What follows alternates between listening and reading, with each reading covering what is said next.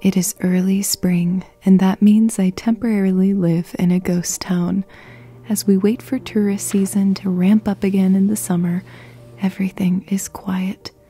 During this time, working at my bookstore may seem like a very boring job, but I'll tell you a secret. I absolutely love to be bored. It gives my mind so much space to reflect, to imagine, and at times, like today, think about how, with each passing year, I have less ambition to do something with my life and a greater desire to simply live it.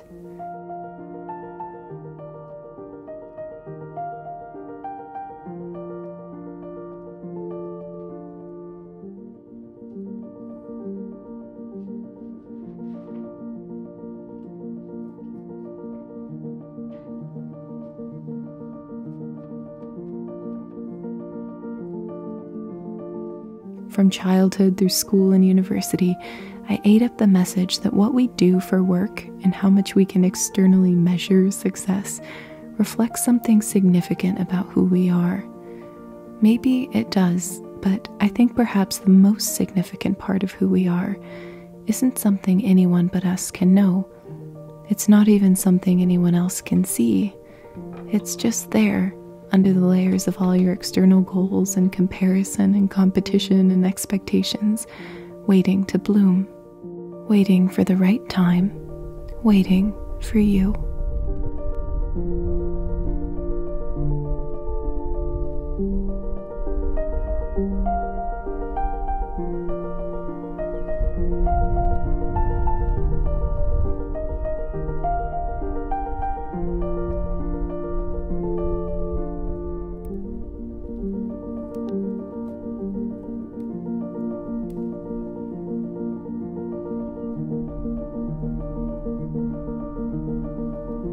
When I was a child, I was always asked, What was I going to be when I grew up? In college, I was asked what I was going to do with my degree. As a business owner, I was asked how I was going to grow my shoestring operation into a full blown company. I was asked how I was going to change the world.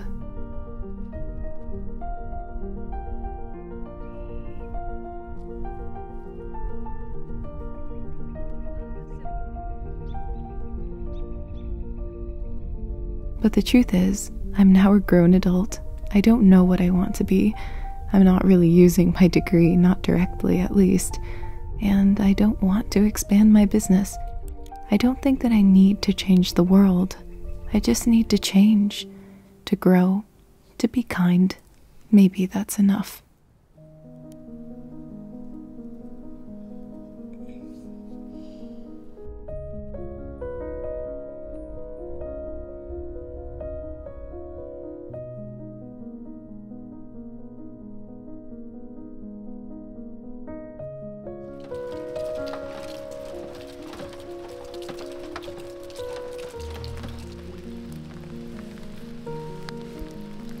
I just enjoy being right now, doing my best and seeing where things go, not relying on a specific outcome to make my time spent here feel worthwhile.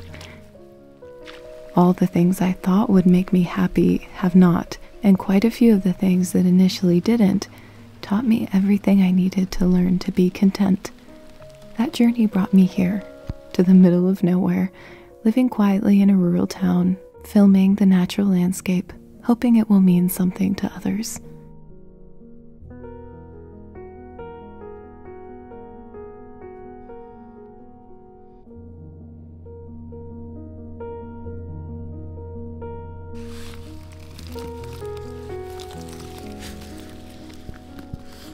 Maybe my ambition is to think about things, to be happy with less, to let go a bit more, to be content with imperfection.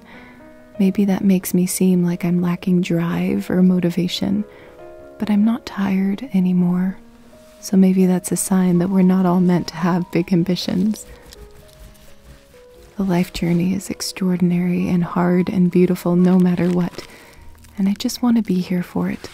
Maybe you'll take a moment today to just be, too. We can do it together.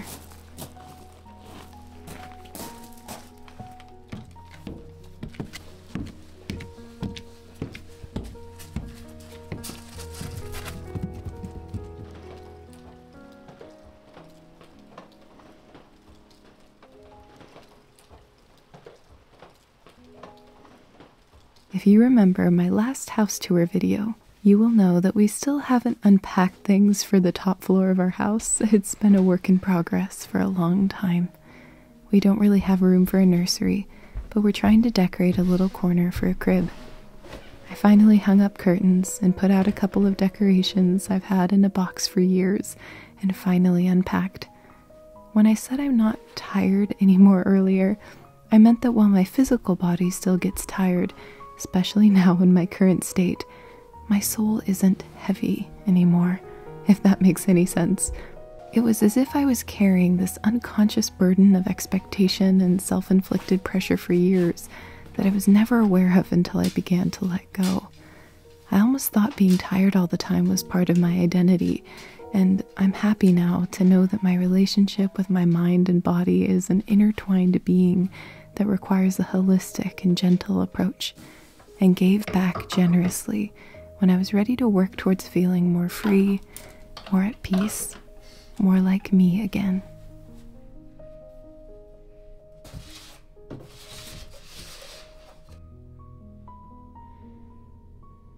Hello everyone. This was a bit of a shorter video. I'm in that final stage of pregnancy where I have to go to more doctor's appointments and it is about a four hour round trip to go to them and it cuts out a whole day at least, if not more. And so that's been definitely an adjustment to trying to balance that with everything else. So I am uh, doing what I can and I do have some big craft projects planned for the next couple weeks, so I am looking forward to sharing those with you soon. Last time I was at the hospital, my mother encouraged me to find some maternity items that actually fit me and some that I could use for um, post-delivery as well. And so I found a few things that were very comfortable and it was a really strange experience to finally go to a shopping mall and that was really weird. we don't have anything like that over here. So going to a place where I could actually go shopping for clothes was really really interesting and uh, yeah it was um, a lot to look into the mirror in the fitting room and see a body that is completely different from the one I used to have and um, in a very good way as well. I think it's a wonderful testament to myself that reminding myself that throughout the beginning of this channel to now, I have progressed so much in my health, as well as obviously just in my life. I've gone through, been going through a lot of different stages of life through this channel. And I just love that. I love seeing the evidence that that time and that energy and a bit of the heartache I put into really trying to reflect on my habits and be a healthier person overall, inside and out, has really shown and really taken its course. That is one thing I see very positive of looking at photos of your past self because I know it can be hard for some people to do that, but I also think it's just so wonderful to see how far you've grown and how much you've come. I just think it's it's a beautiful thing if we can look at it through that more positive lens all those changes in my life and all those improvements in regards to physical health and mental health being a holistic thing that in my experience works together very uh, intimately. Uh, one thing affects the other often, at least for me. It has been even more of a testament to myself that I have become a happier person the more I've let go of these very strict expectations and these very strict goals of what I need to do with my life. And I'm not saying that's the answer for everyone. I don't think having ambitions is a bad thing. I don't think having very concrete goals and working towards them tirelessly is a bad thing. I think all of that's positive. I just wanted to share a little bit of my own journey of realizing that I was holding on to these certain ideas for so long. For example, I needed to be a very successful writer or run an extremely successful business. I know in university I cared so much about being a very successful academic. And I think sometimes we can do that in our own lives in a different way. The moment we have a body that looks a very specific way, then we'll feel like we're allowed to be happy. Or our lives will align just perfectly, then then we can be at peace and then we can be happy. And obviously, there are very healthy ways to have ambitions where it doesn't mean that you're going to be happy once you achieve these goals. But for me, a lot of the goals I had were about that. It was this sense of I'm allowed to value myself, I'm allowed to love myself, and I'm allowed to be proud of myself only if I achieve these certain things. I'm so glad I have let go of that because if there's one thing this experience of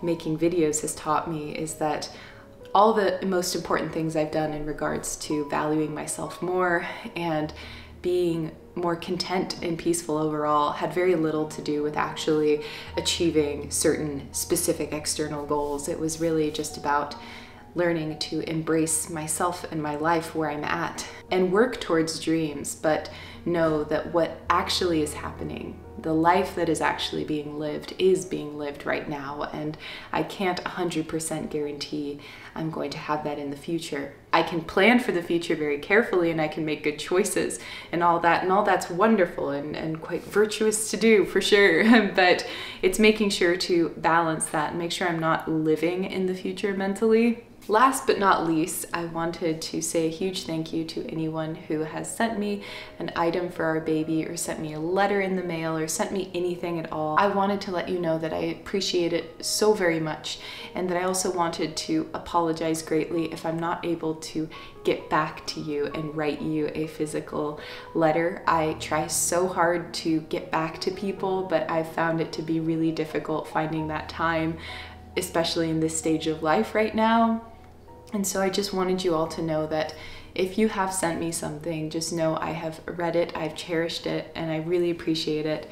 And I'm just sorry if I'm not able to get back to you. I am trying, but it's not always possible for me. And thanks to so many people, including also some friends and family. We are so over prepared for our baby now. and uh, it's just been this huge onslaught of love and support and baby blankets and all sorts of things. Um, so we're so ready and I really appreciate that. And thank you to all um, in every way Thank you. I wanted to let you know that I'm also doing a series of videos on Patreon as well as with live streams talking about different aspects of simple and slow living. It's called the Foundations of Simple Living series and it's been really, really fun to do. It's just been discussion topics and it's been a really lovely community over there. You are welcome to check that out as well if you are interested. And thank you so much in every way for being here. And I hope you enjoyed this. Sending you so, so much love. And I will see you soon. Goodbye.